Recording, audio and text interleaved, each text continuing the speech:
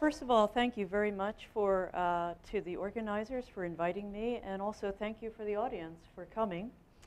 Uh, I'm going to talk about uh, archaic human diets, but I'm going to do this in broad brushstrokes, and I want to cover a lot of time. But hopefully, maybe it will be helpful in connecting some of the earlier talks to some of the later ones. For starters, uh, just, just uh, in the interest of full disclosure, human beings are omnivores, and they probably always were. So when we talk about diet, we're not necessarily debating whether they ate meat or not, but trying to look at how these different sources of food, including fungi, are folded into people's lives. And what I'd like to explore here is a little bit about its, its social consequences as well. Because getting food, processing food, is all, all involves labor. It often involves cooperation.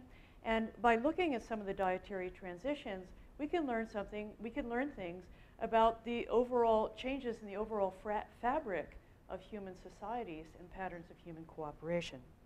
Now, so, so meat is, is obviously just one window on ancient human diets. It's an important one in a surprising number of ways. First of all, uh, meat, and especially meat and other tissues from large mammals, are rare in nature. They're relatively uncommon yet they're very high quality and they offer complete protein and in animals that are in good condition, they also also offer quite a bit of fat that can be seasonal.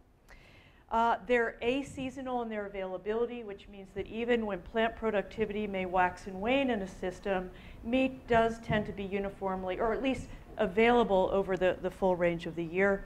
And in the case of big animals, even if they're tough to get, they come in really large packages. So it's very difficult for foragers to overlook this. These are, it's just a very interesting property of meat. In addition, there are a lot of interesting social rules wrapped around or associated with the capture of meat as well as the consumption and as well as its, its distribution. So there's a lot we can learn here. Now, when it comes to human diets, one way of thinking them is, is how much is plant and how much is animal. But I'd like to redirect your attention a little bit here to think about something, something else, and that is the cost of getting different kinds of food, the cost of processing them. In other words, the relationship between what you lay out in terms of effort in technology and everything else, fire, whatever, fuel, uh, and what you get for the return. And what you'll see is that there are animals and there are plants, and there are probably fungi, on, on both sides of the equation. And as many people who have worked with modern foragers can tell us, uh, even though large animals can be difficult to get, when, and, and the supplies can be somewhat uneven or sporadic, uh, the, the return for the effort is very high or tends to be very high, and thus people uh, continue to do it as much as they can. Uh, but of course, they're also eating lots of uh, other foods that come from the plant world. And uh, if they're abundant, uh, they will tend to be preferred in the sense that as long as all of this is giving a balanced diet, that is, you're getting your vitamin C, you're getting your protein, you're getting your carbohydrates or your fats, that they will prefer, if they're available or, or abundant, foods that are more easily obtained, more easily processed prior to getting them in your mouth, these are what we call higher return uh, or, or higher nutritional return foods for the effort that you lay out. On the other side of the equation are all sorts of delicious foods, and we know that uh, many people eat them in the modern era and also in the past. And you'll notice once again there are plant products here and there are also animal. By the way, uh, we could probably put honey in the high nutritional uh, yield area, and we could probably put tubers, or at least most tubers here on the right. And what you see are a variety of plant seeds, tubers would be included. Uh, you have to do some work to make them edible. And usually there are technological indicators of this, like milling technology and so on, in the archaeological record. But there are also a variety of small animals that are very quick, not so easily gathered, and although people are capable of hand catching them, such as hares, it's a lot of work per uh, animal gained, and therefore the return can be much lower. Now you can overcome these costs or, or this problem technologically, but then you pay the cost in terms of technology instead. So these are, this is an interesting dichotomy. I'm oversimplifying, but, uh, oversimplifying it a little bit, but this is a nice framework for looking at uh, three very important, I think, uh, dietary changes that have happened in prehistory. From somewhere after, or somewhere around a, half a million years ago, or a little bit earlier, to uh, the Pleistocene Holocene transition. Now, uh, these are strictly from a zooarchaeological perspective, and the nice thing about uh, the zooarchaeology is that you're working with bones that have a good probability of being preserved, regardless of whether the animals are quick or slow, large or small. That's the problem with plants, as, as many experts will tell you. Okay, first is the ascendance of a top-tier predator. Now, this, doesn't mean that they only eat meat, but it does mean that we have the evolution of a large game hunting species. And uh, we know for sure at this point that uh, this, this characteristic evolved at least 400, probably 500,000 years ago, and it could be earlier. We simply don't know yet. It could be as early as a million. It coincides, by the way, in a very general sense, with the emergence of fire and, and uh, ubiquity of fire as a technology. But uh, correlation is not necessarily identifying a causal relation there, although it could be. Second is expanding dietary breadth, and the time interval of, of very special interest I want to focus on is 70 to 50,000 years ago. There may be some earlier cases, but this is when it really concentrates across Africa and Eurasia. And then the third one, which might be a little bit more familiar to some of you in the audience than, than the other two, and that is the domestication of hoofed animals, which we now know occurred uh, by at least 10,500 years ago in the case of sheep and goats, and probably a little bit earlier than that. Most of the evidence, but not all, that I'll be talking about comes from work that I've done, as well as that of close colleagues, including John Speth here. Uh, and I'm going to focus especially on the Mediterranean basin because this is an area with very diverse biota, lots to choose from, and so you can get a sense of what people are choosing to eat and what they're actually ignoring. Large game hunting has very deep roots, and there's a little paradox here in the sense that uh, by 400, 500,000 years ago, people are taking down large bison, they're taking down the, the huge ancestor of, of cattle known as the aurochs, and a variety of other hoofed animals. And they're doing it with relatively simple technology, at least simple by our standards. They had uh, very nicely crafted, balanced wooden spears, which are, are nothing to sneeze at. They may have had in some of the later, uh, after uh, 100,000 years ago, some stone-tipped weapons, but nothing like what we see in, in later prehistory in terms of technological sophistication. This kind of hunting is, is very doable for humans, especially if it's shock and track hunting, uh, but it involves very close, it requires close cooperation of more than one, one person. And uh, during these periods, because of uh, what we, at least some of us think is a, a pretty high level of carnivory, uh, these would be very small social groups, which means that most of the individuals in the group that are at least able to be mobile are probably helping in some way, not only to act as surrounds in assisting hunting, but also obviously in processing and moving the carcasses to places where they can be processed uh, more thoroughly. I think uh, Maurice Wilson had it right. This is a, a beautiful illustration now, I think, uh, in possession of the British Museum. But it gives you an idea of, of sort of the reconstructions of hunting. And uh, we do have an idea of some of the technology, although it's organic.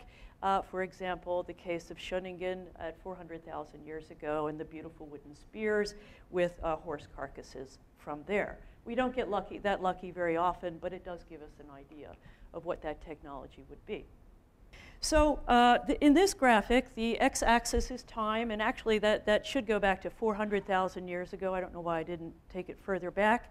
And the y-axis is just the, the percentage of meat biomass in the diet that comes from big hoofed animals as opposed to any of a variety of small animals. And what you can see is that up to about uh, 50 or 40,000 years ago, 95 to 99% of all of the meat biomass is coming from big animals. At least that's what the zooarchaeological record tells us. Something happens after that.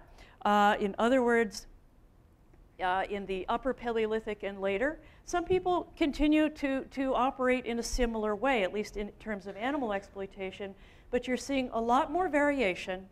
And in terms of averages, we see a rising proportion of small game animals entering the diet. Now, so we can look at this in a little more detail in terms of costs and benefits and learn something about what is almost certainly a reorganization in human economies.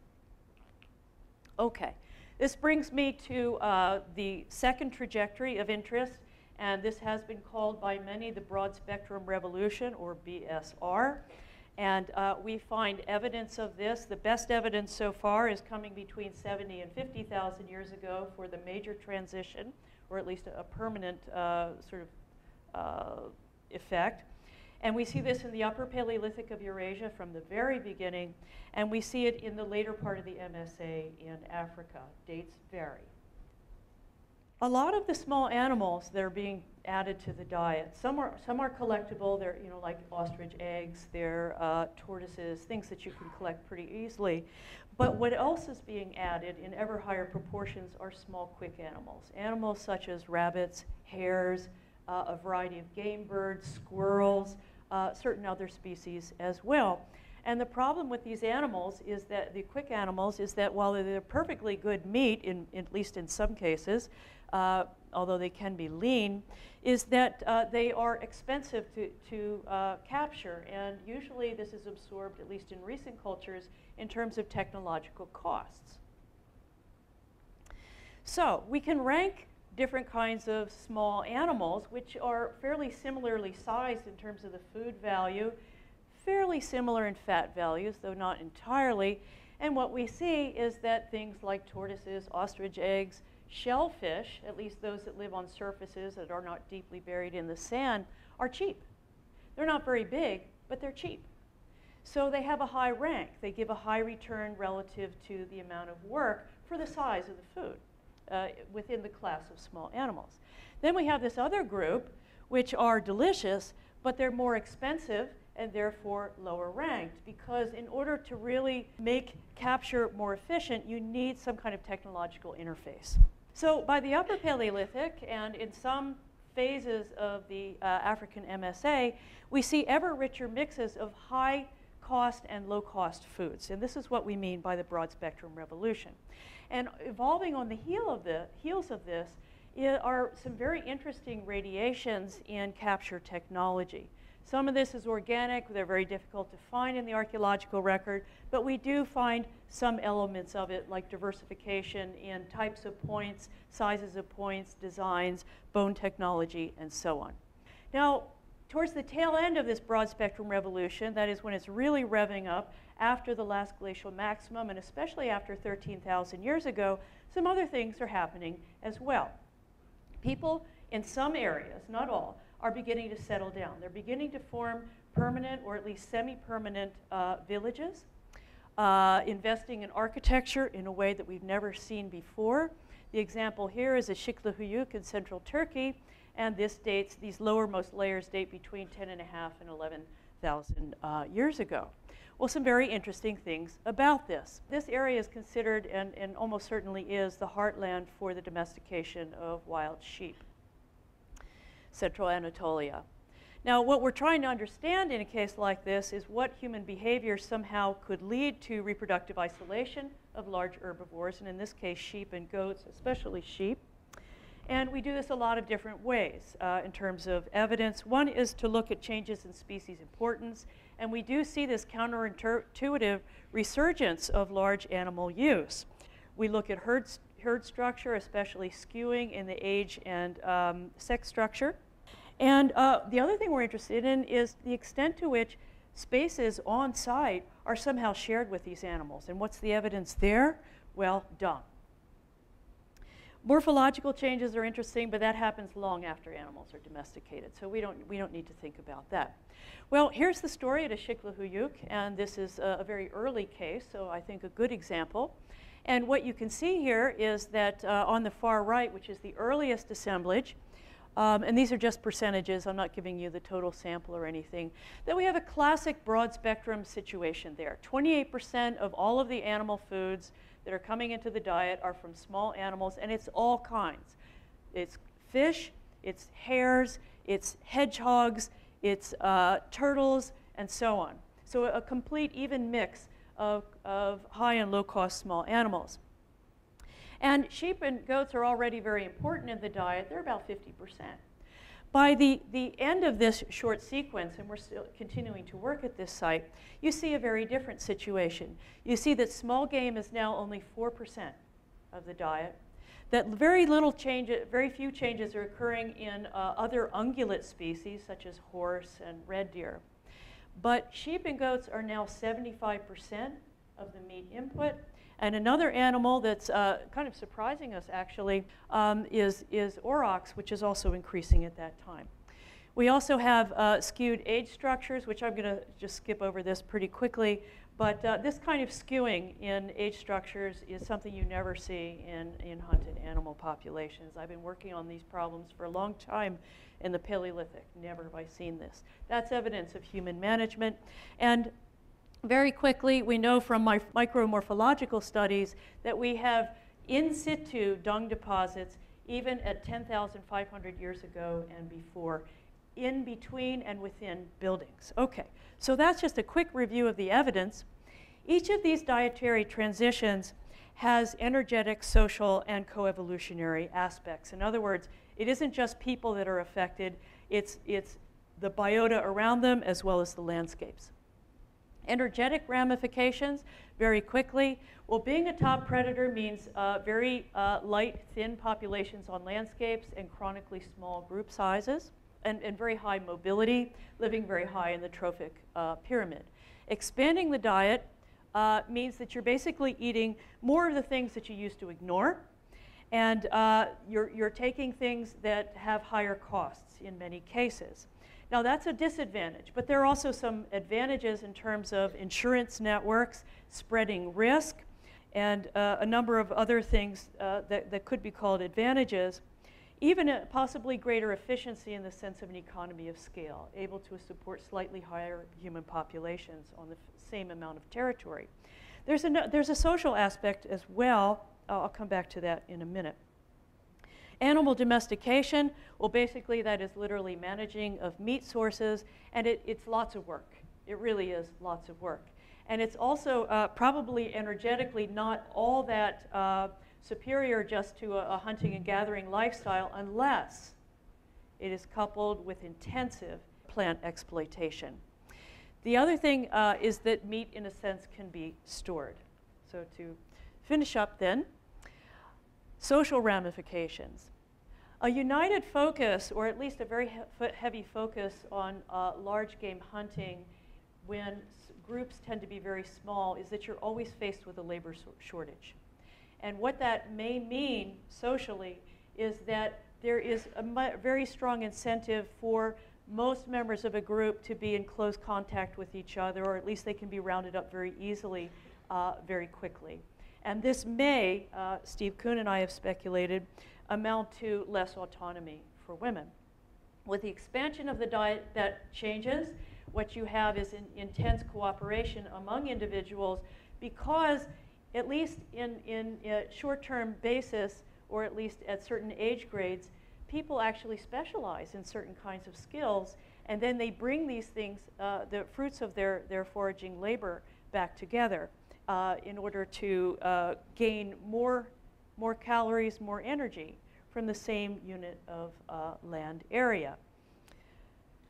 Animal domestication could very well be a solution for the tragedy of the commons in a world in which populations are increasing and uh, the availability of wild large meat stocks is declining or at least is becoming unbearably unpredictable. This can support higher population densities, as I, I noted, but only if, uh, if it's combined with uh, plant use. Meat security is improved this way, but it's no longer coming from a common pool. And it's from this kind of situation that ideas have grown about a burgeoning sense of ownership and autonomy, not at the level of the individual now, but at the level of the corporate group. Okay, so Energetic and social changes are closely intertwined in human evolution. Dietary changes definitely affect environmental carrying capacity and human population densities. And finally, humans solve problems by ever more complex solutions, which is probably why it's often, not always, but so often difficult to go back. Thank you very much.